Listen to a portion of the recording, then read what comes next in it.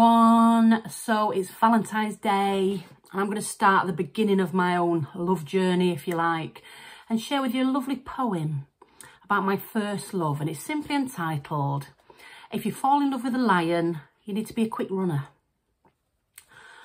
My first love was John Lyon, but he had no love for me. I professed my love for him daily. I thought that would be key. But I was fixed, determined that he'd get down on one knee. I offered him my heart, I offered him a kiss, but he fancied my mate, Marie. So I chased him round the playground and I chased him round the tree. My lips were ready, puckered up, but all he did was flee. So one day I plucked up courage saying, John, will you marry me? He said, I'm not ready yet to settle down. After all, I'm only three. So that was the first attempt at getting married. Uh, but moving on quickly. Um, to fast forward to present day. And I think you'll all agree that it's, it's, it's so much harder to meet someone these days, especially as we can't even get within two metres of them or play kiss chase. It's hard. You see, the clubs are all shut, so there's no meat market. Not even one pub open. Don't get me started. The bars are shut, cafes and coffee shop. So I'm eyeing up the fellas in my local co-op. There's only one place to go, and that's Tinder. I might meet Mr Darcy, like my neighbour did, Linda.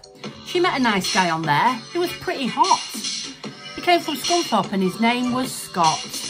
They stayed up all night. All they did was chatter dreaming of a future, discussing things that matter. He even told Linda that he had a yacht and he knew where to find the elusive G-spot. Turns out Scott was lying. He owned diddly squat.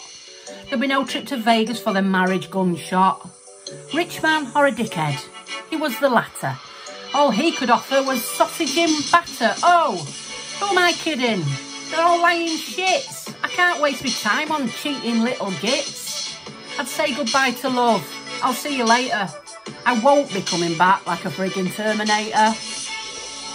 I'll delete the profile. Can't take the flack. I will not be saying I'll be back.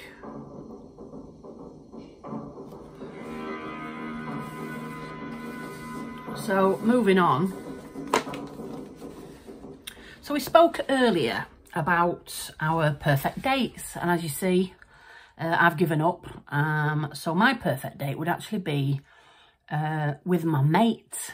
And so I've written a couple of verses to show you what we'd actually do on our mate date. And it's simply called My Perfect Mate Date. What would be your perfect date? Mine would be a Saturday with me mate. There'd be no worries, no dilemma, because I'd call on my mate her name is Emma. We'd meet at Byron Bay for brunch, then Bora Bora for late lunch. Drink a cocktail or two, three, four. And then we'd drink a couple more and probably go for a kebab, a vegan kebab. And whilst we sup on liquids green, the biggest bowl you've ever seen, brimming with pickled onion space raiders. We'd nibble whilst playing Space Invaders. We chat about the things we'd seen, laughing at celebs in Heat magazine, no whingy kids or nagging spouse. We'd sing and laugh and talk in scouse. Can I have a daiquiri, please?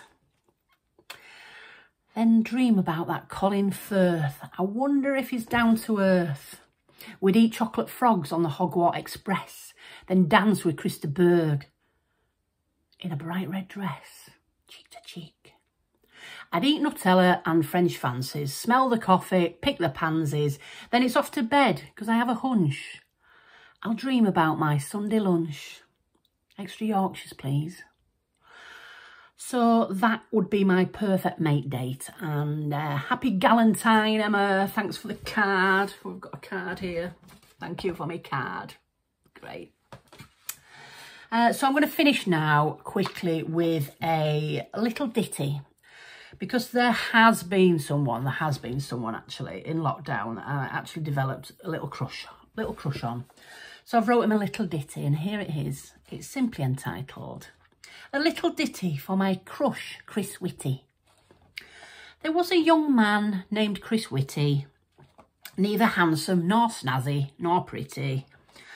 But when he says, next slide please, I just want a big squeeze and hope one day he'll play with my kitty. Thank you very much. Good night.